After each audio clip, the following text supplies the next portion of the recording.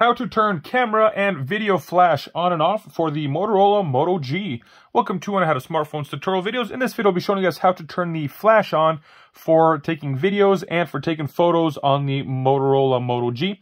So I'll show you guys the different settings. There's the auto setting, the automatically on, automatically off.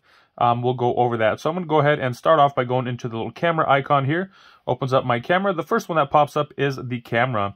So if you're wanting to, you know, take a picture, Right up here, second one to the left, this little icon on top is a flash, little lightning bolt. Go ahead, select that.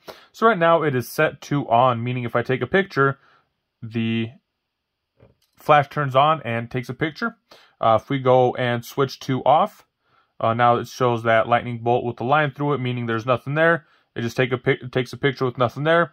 And we'll set the flash to the A, which is for auto.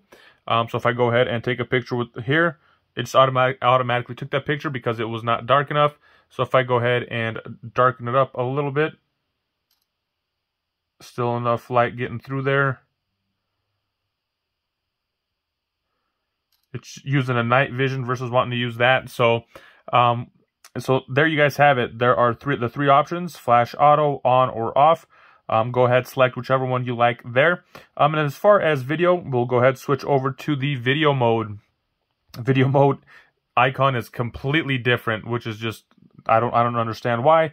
But the icon instead of the lightning bolt, it's literally a flashlight. So if you go ahead, select that flashlight. Right now, you guys can see it is off. So I'm just going to go ahead hit record. As you guys can see, it is now recording. There's no light or anything on back here. We'll go ahead, turn that off. I'll go ahead and switch this to torch on. Don't know they call it a torch for whatever reason, but you guys can see automatically turns on already. If you go ahead start recording, that light is automatically on. You stop recording and it's still on. You can go ahead and just turn it off by hitting off. Um, if it's on the auto on and if you go ahead and just turn off your device, it'll automatically shut that off once it's outside of the camera mode.